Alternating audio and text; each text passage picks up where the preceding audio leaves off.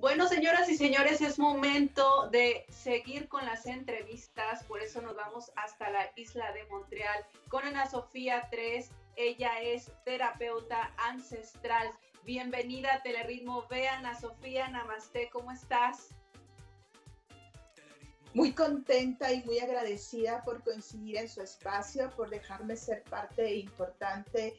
Eh, para mí estar con ustedes es realmente una, una alegría. Eh, hoy es un día muy especial para mí. Eh, él es el cumpleaños de mi papá, que trascendió hace cinco años y para mí es muy especial este día y ustedes lo hacen un poquito más especial aún pues ahora sí que va a ser una entrevista bastante acompañada con ángeles, con arcángeles y todo en el momento preciso y cuando debe de ser. Ana Sofía, me encanta lo que tú haces. He estado leyendo de ti. La verdad que eres una mujer inspiracional. Para aquellas personas que te acaban de conocer, háblanos de ti, por favor. Ok, te comento un poquito. Yo soy terapista ancestral, como bien lo, lo mencionas. Eh, formadora con chamanes, he sido formada por chamanes de la tradición y dula de formación. Eh, soy terapista de rebozo. Yo trabajo eh, con la feminidad, trabajando con las mujeres desde la menarquía hasta la menopausia. Ha sido para mí realmente un camino muy gratificante caminar de la mano de muchas chicas. Creo que han sido mi enseñanza día con día cada organismo es diferente, cada reto que llevo con ellas es distinto, pero siempre trabajando en armonía con la naturaleza, en armonía con su energía y bueno, sobre todo con la confianza que ellas depositan desde hace ya más de 10 años con su servidora. Eh, la formación que yo, yo realizo, yo tengo es trabajar con rebozos. Es una terapia de origen maya. Yo soy mexicana y pues bueno, el trabajar desde eh, la composición de mixturas herbales para diferentes patologías en la mujer han sido para mí eh, un parteaguas para ver las necesidades y en base a ellas generar tratamientos personalizados y terapias personalizadas dependiendo de lo que está presentando la chica. Un ejemplo, puede que una chica me presente una patología o un, síntoma y otra me presente lo mismo, pero son dos organismos totalmente distintos. Y ahí es donde partimos para trabajar nuestra medicina eh, mexicana, que la medicina pues la trabajamos, como bien te mencionaba, a base de, de mixturas herbales y también de terapias ancestrales como la técnica de rebozo maya, la cual yo realizo eh, ya sea para acomodar el cuerpo de la mujer tras una caída, luego suelen tener dolores en espalda baja.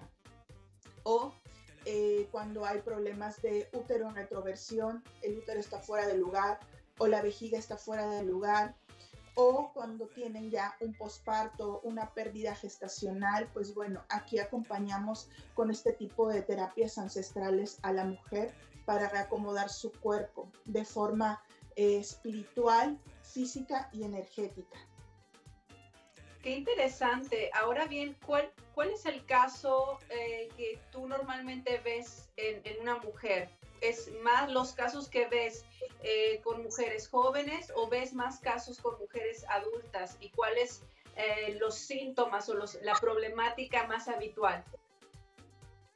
Ok, pues tristemente eh, los casos más comunes son con jóvenes, con chicas muy jóvenes eh, que han tenido pues no una buena información a temprana edad, eh, que han comenzado con menarquías muy tempranas. La menarquía es la primera menstruación en la mujer. Y bueno, pues de ahí partimos a que hay irregularidades de tipo hormonal no pues tratadas a buen tiempo. Posterior a eso, pues a lo mejor dan sustitutos hormonales, sin antes hacer un, conteo o un perfil hormonal en las chicas y pues bueno, esto trae como consecuencia que cuando ellas eh, son un poquito más grandes eh, empiezan a generar adherencias en su útero.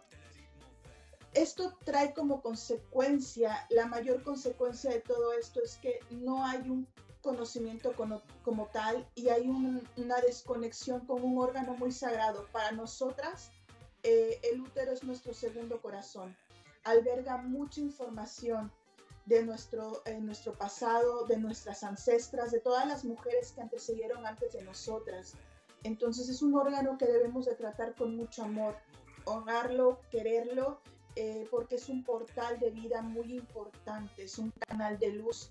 Entonces, pues bueno, creo que todo parte de una desinformación a muy temprana edad de nosotras, un desconocimiento de lo que es la menstruación, de que somos cíclicas, que nosotros menguamos como la luna. Eh, creo que esta desconexión de nuestro cuerpo tan poderoso, tan fuerte, tan divino, pues trae consecuencias físicas como son infertilidad, como son adherencias, como miomas, quistes y ese tipo de situaciones, amenorrea, sangrados abundantes, eh, dolor durante el ciclo, periodos anovulatorios, en fin. Ana Sofía, eh, es un tema súper rico, súper interesante. Me encantaría seguir eh, profundizando en el tema, pero para cerrar la entrevista, me encantaría que nos dijeras un poquito del péndulo hebreo y que nos regales tus redes sociales para poder contactarte o algún teléfono, por favor. Claro que sí, cariño. Eh, mira, el péndulo hebreo lo tomamos como una terapia que va de la mano para sanar nuestra energía, nuestro linaje femenino es un sistema de sanación energético en el cual utilizamos la frecuencia que emiten eh, las etiquetas o las vibraciones del idioma eh, hebreo, en el cual vamos a limpiar el aura y a limpiar la energía de las personas. Eh, yo me enfoco más en trabajar sobre la mujer, sobre la energía, sobre su linaje y pues bueno, esta es la, parte del péndulo hebreo, es una parte de sanación físico, energético y espiritual. Muy bien. ¿Y tus redes sociales para cerrar esta entrevista hermosa, por favor? Claro que sí. Eh, me encuentran en Facebook y en Instagram como Maya Medicina Ancestral. De esta forma eh, se pueden poner en contacto con una servidora. Eh, ahí están puestas mis dos líneas de contacto, tanto la que tengo en México como la que tengo aquí en, en Canadá. En Canadá es 438-356-7535 eh, pero en la página también lo pueden encontrar para que me puedan escribir. Ana Sofía, un placer. Eh, de verdad que te mandamos todo el amor del mundo. Abrazo tu alma, tu espíritu. Gracias por esta oportunidad de coincidir contigo. Hasta la próxima. Gracias, gracias. Dios les bendiga. Gracias de todo corazón. Bueno, ¿qué les pareció? Un beso. Señoras y señores, vámonos a un corte y seguimos con más información. Teleritmo